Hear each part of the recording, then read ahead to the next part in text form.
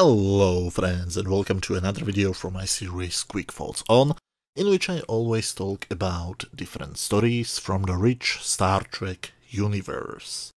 Last week, two new short treks have premiered on CBS All Access, and because I live in Europe, uh, it took me a while till I could um obtain them if you know what I mean. Uh, but the first one of, the two was called uh, The Girl Who Made the Stars, and these are my honest opinions about it. Well, this is going to be a short video. After I've seen the episode, the only thing uh, I could think about was that I want the 7 minutes and 45 seconds of my life back.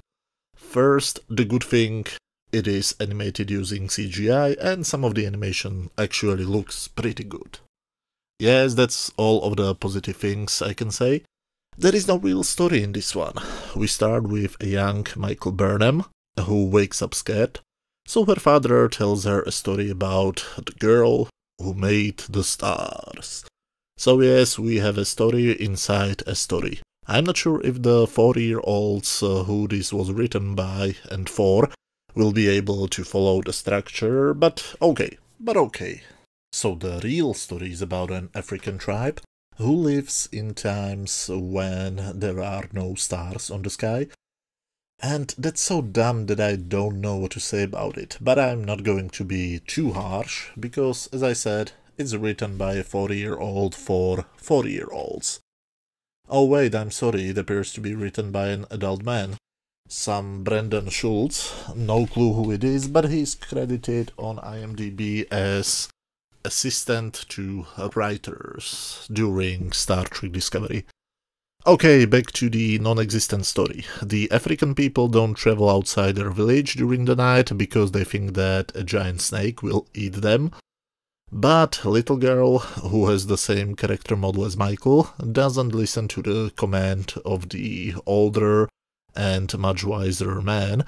She goes outside of the village and gets attacked by the giant snake monster because giant snake monsters existed, apparently.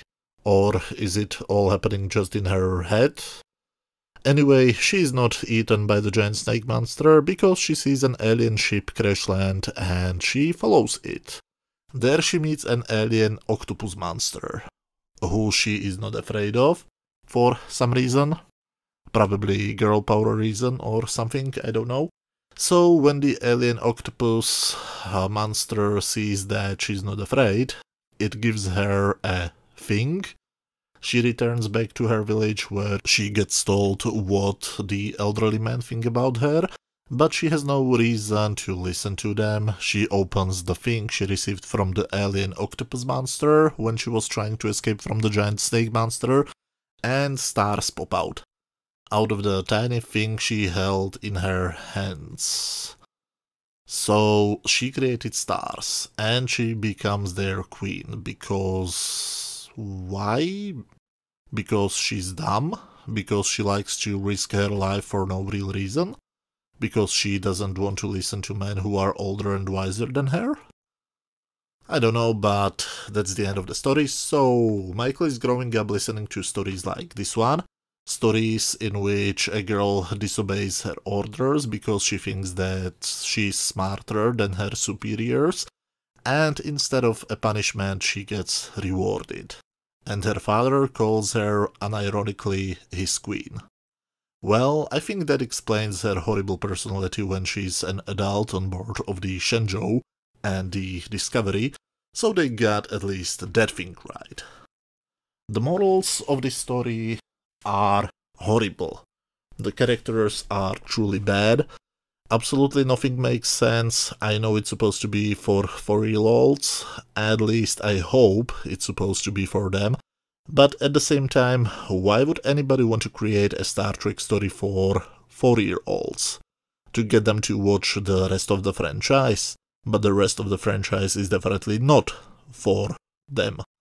I honestly don't understand why is this a thing that exists. I'm reading a book about making of the original animated Star Trek series from the 70s, and one thing is sure, uh, Roddenberry was desperately trying not to dumb down that show so that it be available accessible for kids. Bravo, you brought the franchise directly to the opposite of what the original creator wanted. But as I said, I don't want to be mean because it's for kids. And yes, trust me, this is me not being mean. You don't want to hear me being mean? Well, at least it's short, and the next one was better.